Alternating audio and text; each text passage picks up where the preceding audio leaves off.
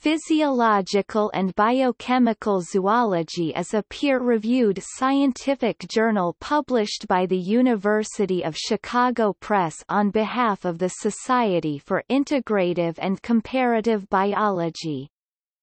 Traditionally, it has covered research on the biochemistry, physiology, and genetics of animals. A recent editorial change has expanded the scope to include life history traits, comparative biomechanics, and behavioral endocrinology, as well as a wider range of paper categories, including those related to educational outreach.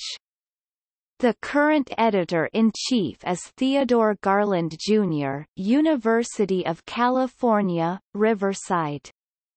Previous editors include Charles Manning Child, Warder Clyde Allee, and Clifford Ladd Prosser. The journal was established in 1928 as Physiological Zoology, obtaining its current name in 1999.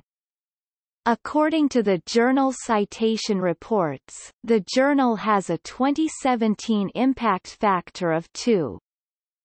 291.